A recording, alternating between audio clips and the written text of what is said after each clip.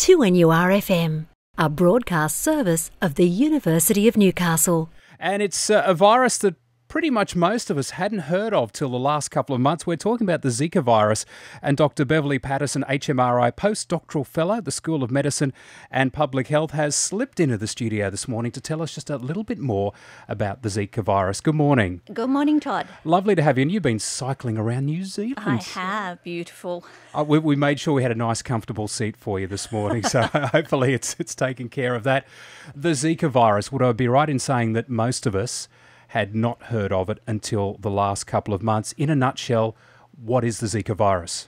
Sure. Look, even scientists, and I'm an epidemiologist, we hadn't heard about Zika. It was a fairly non disease. It wasn't a disease that made you very sick. Um, there had been outbreaks in French Polynesia, and then there was an enormous outbreak in Brazil. And following that outbreak, they noticed that there were quite a few cases of microcephaly. And this is where babies are born with particularly small heads and they have um, neurological problems. And this is when um, Zika was first. Um, signaled as as a disease that that was an issue and so the the World Health Organization has declared um, it a, a a disease that's a public health emergency of international concern. And it's because we believe that it is linked to these cases of microcephaly or the small heads and something else called Guillain Barre syndrome, which is where um, you, you, get a, a type of paralysis, and that's in adults. Now, America had a, a, few cases, and that's when the alarm bell started to ring. North America. What about Australia? Where do we sit in the grand scheme of things? Because most people are just saying, I don't know. Firstly, they're worried about Australia. Then we'll get on to touring and travelling. So, what about Australia?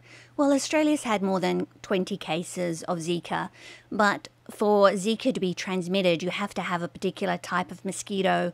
Now, we do have that mosquito in North and um, Central Queensland, um, but at the moment, we don't have any cases where there's been local transmission.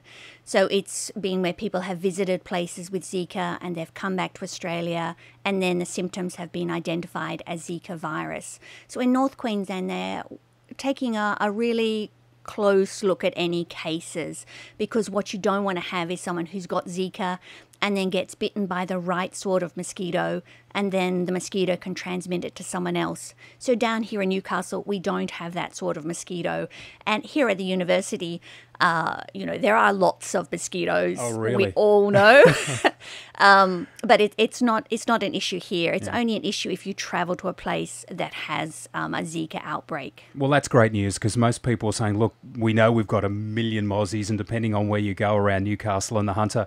So, uh, South America, what do we need to look out for? for. And we were talking off the air, and who should and shouldn't go to South America, or what should the things that you should take into consideration if you decide to go? Who should and shouldn't? Well, unfortunately, it's not just South America, it's also in some parts of the Pacific.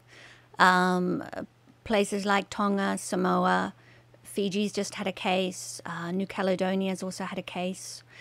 Um, you just need to really think carefully about going to places. Now, in somewhere like uh, Fiji, they haven't had very many cases. You wouldn't say there's an outbreak.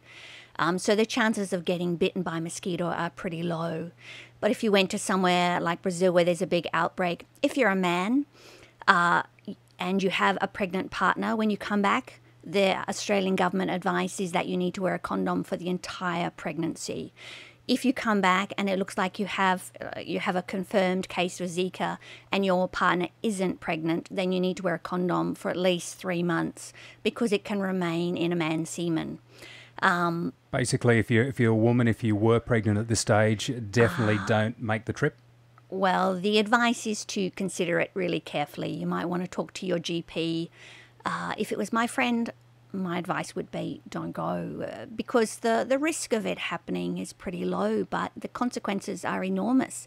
And it doesn't seem to matter what time through your pregnancy you know you go to a place the outcomes can be severe from from these babies with small heads other neurological problems or um, stillborn babies all sorts of things It's interesting, isn't it, when you've had a, a long haul flight and you get into Sydney and all you want to do is get off the plane and then they say, look, please remain in your seat. We're going to come through and spray. And everyone grumbles, and you know, because that happened on a recent flight for me. Oh, I didn't know they did that They anymore. still do it. I didn't realise they did it either. They came through and they sprayed. I'm never going to whinge again. Uh, Beverley, thank you very much for giving us the lowdown on the Zika virus. Obviously, for us closer to home, it's uh, we're more relaxed about it. It makes us feel a little bit better knowing that Australia is a okay. But some great information on travelling. no worries. Thank you, Todd. Thank you for your time. That is Dr. Beverley Paterson, HMRI postdoctoral fellow, School of Medicine and Public Health, talking about the Zika virus.